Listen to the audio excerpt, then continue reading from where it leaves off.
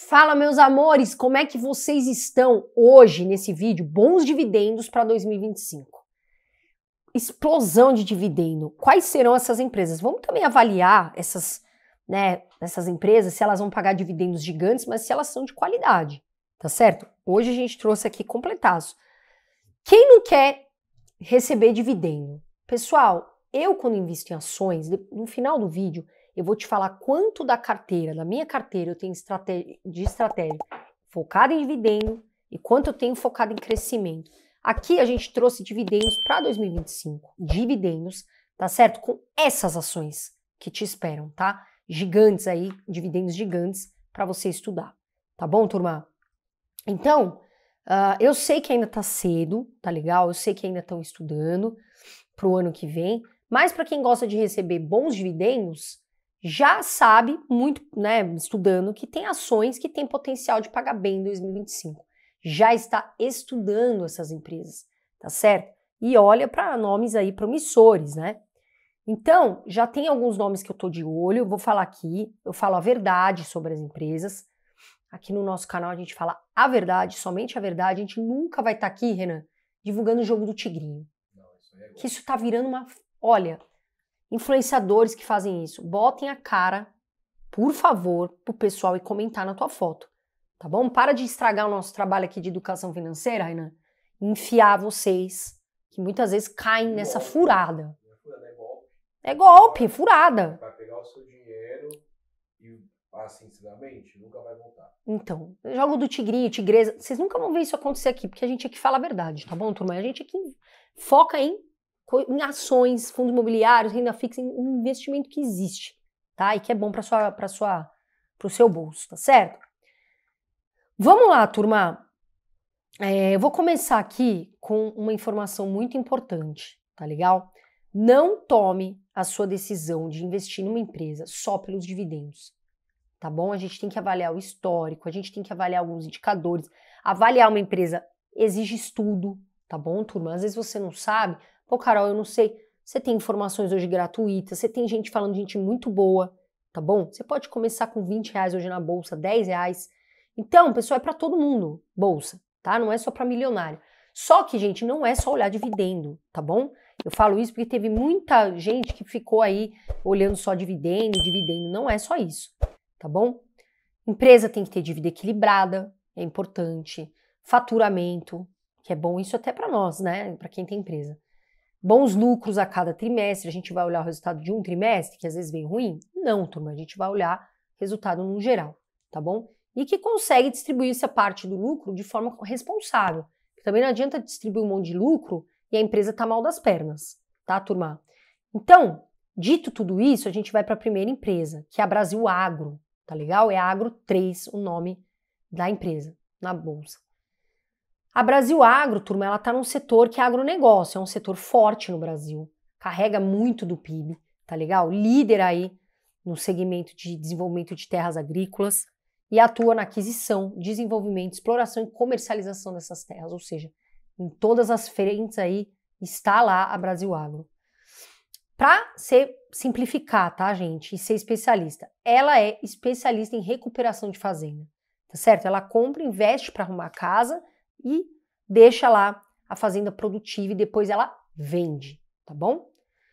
Atualmente, tá, tá turma, tem 2,66 bilhões, está avaliada, ela tem um patrimônio de 1,96 bilhão. É, e aí, nos últimos 12 meses, a gente traz essa informação importante. A empresa faturou 1,10 bilhão, tá bom? E conseguiu gerar um lucro de 236,72 milhões, que é um, um lucro grande e que é distribuído aí com os acionistas. Tá legal? Vamos dar uma olhada? Agro 3, olha a cotação hoje, menos de 30 reais. Hoje, R$ 25,90. Variou para cima 18,89%. O PL da empresa tá bom, 11,23%. PVP 1,36%. Por esse indicador, a gente falaria que perante o valor patrimonial tá cara. E dividend de entregue, aí sim, a expectativa vai ser boa e entregou 12,40% é, nos últimos 12 meses, tá legal? Quero ver algumas informações que eu gosto. A margem líquida, que é o dinheiro que de fato a empresa põe no bolso. Eu gosto de margem acima de 10, 21,58%. O ROI da empresa, a gente vê aqui 12,09%, um ROI positivo, acima de 10%. Eu também gosto. Dívida líquida sobre EBITDA. Aqui até 3 é aceitável, tá em 3,56, tá, turma? A, empresa anda um pouco alavancada, mas tem contratos previstos, tá? Uma receita mais previsível. Tanto é que a gente vê crescimento de receita nos últimos cinco anos de quase 15%, e a liquidez corrente, que é importantíssimo, é o dinheiro que tem caixa para honrar as dívidas ali de 12 meses, curto prazo, está em 2,04, acima de 1, a gente fala que está ok, tranquila. A gente vê a nota da empresa em relação aqui avaliada pelo investidor buy and hold, 9 de 10, tá legal? Cumprindo todos os requisitos. Menos o empresa nunca deu prejuízo no ano fiscal, tá? Já deu, mais os outros, todos os outros pontos positivos. E aí a gente vê receita e lucro. A receita líquida, a barra verde, veja que ela é uma receita que se mantém, em alguns momentos sobe, em alguns momentos desce, mas se mantém positiva. E o lucro, né? 2021 subiu bem, a gente teve um momento positivo ali para o agro e depois tem essa queda, mas é uma queda ali do lucro líquido, não está negativo, tá bom? Dividend yield ali, 5 anos, o atual 12,40%, como eu falei, pagou, tá? O yield aí 12 meses passados e o médio em 5 anos 9,28%, tá legal? E aí, pessoal, volta para cá. Brasil Agro. Carol, você tem na carteira? Pessoal, eu não tenho, tá bom? Acho que é uma empresa com bons indicadores. Acho que é uma empresa, sim, de um ramo que é grande no Brasil, mas também tem os seus poréns, na minha opinião. Qual é? Seca, chuva, é boa a safra, não é? A fazenda vale a pena, tem muito que mexer, depois não vende pelo valor, fica parada, não vende. Então, assim, para mim, é um setor, é um segmento que eu não estou olhando, tá bom? Acho que ela vai pagar dividendos? Acho.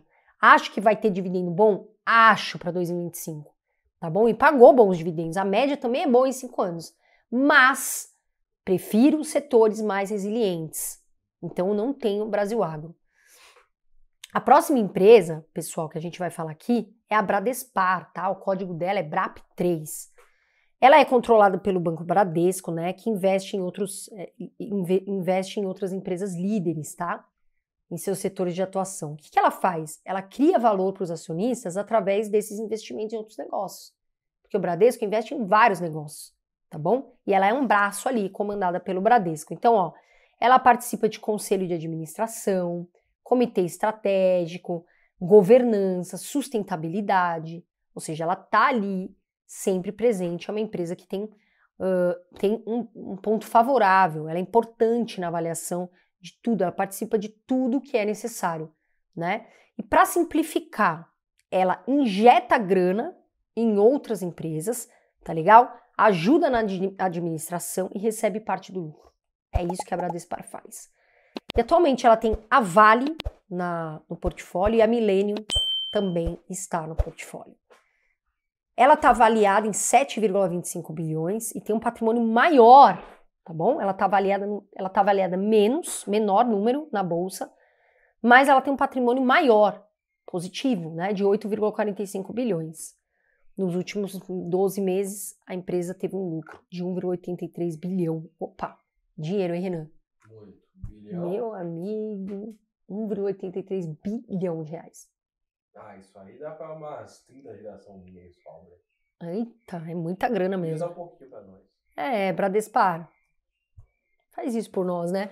Até parece que ela vira sócio, viu? Uh, vamos dar uma olhada aqui na Bradespar? Olha o que, que a gente vê. A cotação hoje, R$ 17,60, ela variou negativo, 5,83%. Por quê? Bradesco não veio com bons resultados, também variou para baixo. PL 3,78 é um bom PL. Você demoraria ali 3,78 anos aproximadamente para ter o seu dinheiro de volta. P sobre VP está descontada, quase 20%, 0,82. Dividend que entregou, dividend yield ali 15,84%. Vamos dar uma olhada aqui, né, no, nas informações. A dívida líquida é negativa, tá? Dívida líquida sobre EBITDA menos 0,17. Isso significa que a empresa está super controlada de dívida, o ROI da empresa acima de 10%, o retorno que você tem, né? Porque o acionista quer ter retorno investindo na empresa. Tá 21,68%. A gente vê uma liquidez corrente grande, tem dinheiro ali, mais de um, né? Tem bastante caixa na empresa, isso é importante. E aí a gente vê aqui a nota, nota 5 de 10, tá, turma? E aqui é bom dar uma olhada uh, nesse checklist, tá? Do investidor buy and hold. E olha lá o que eu falei, né?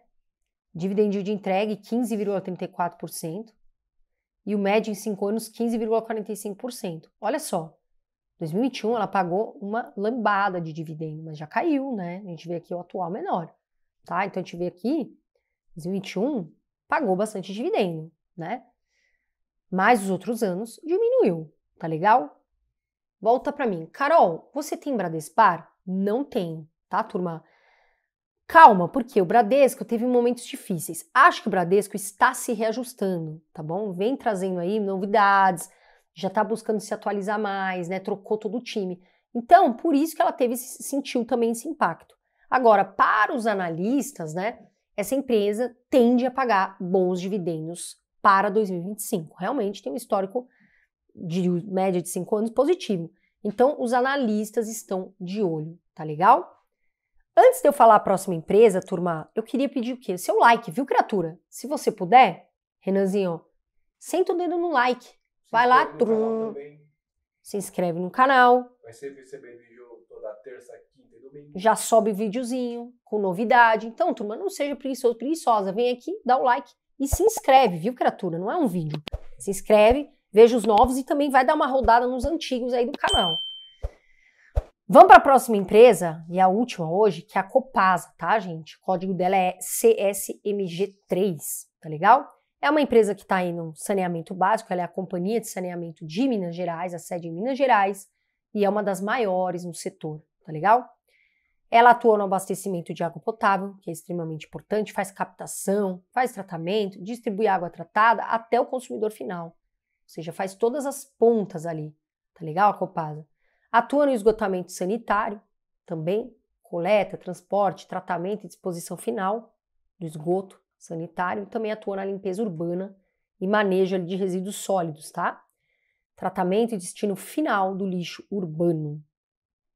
É uma empresa que está num setor importante, né? A gente gostaria que fosse bem melhor no Brasil. É, um, é uma área de saneamento, né? Um setor que é bem necessário tem que melhorar, a gente torce por isso, mas é um setor que, na questão financeira, de investir, tem bastante espaço, tá, turma? Atualmente, ela está avaliada em 8,95 bilhões e ela tem um patrimônio líquido de 7,63 bilhões, tem mais de 11.500 funcionários. Veja que tem bastante funcionário nessa empresa. Nos últimos 12 meses, a empresa faturou 7,70 bilhões e conseguiu gerar um lucro de 1,47 bilhão, que é uma parte distribuída aí com os acionistas, tá certo? Vamos dar uma olhada nos indicadores, olha lá. Copasa, aquele investidor 10, menos de 24 reais hoje uma ação, tá? 23,53. Variando para cima, 46,22%, PL muito bom, 6,09, PVP 1,17 e dividend yield entregue 15,34%. E aí vamos ver algumas informações, a margem líquida acima de 10, eu gosto, 19,08%, ROI acima de 10 também, 19,25%, dívida líquida sobre EBITDA tá ok, tá dentro do padrão, 1,59, até 3 a gente acha, acha aceitável, liquidez corrente também está acima de 1, 1,14, e aí a gente vê o checklist do investidor 8,8 de 10, tá bom? E aí a gente vê aqui a receita da Copasa, constante, crescente nos últimos 12 meses, o lucro também. Olha só, a gente vê o dividend de médio nos últimos 5 anos 8,47% e o atual 15,34%. Volta para cá. Eu falei para vocês no começo do vídeo que eu ia falar minha estratégia de investimento. Turma, 75% da minha carteira de ações eu invisto em dividendo. Então são empresas ali mais consolidadas que pagam bons dividendos. 25% eu invisto em empresas de crescimento que eu acredito que podem ir muito bem, que podem valorizar. Algumas são de crescimento e pagam bons dividendos também, tá bom? Tá certo, pessoal? Renanzinho, ó, eu sempre falo. Boa Brasil, que investe futuro agradece. Fiquem com Deus e até o próximo vídeo. Um beijo, fiquem com Deus e até o próximo vídeo.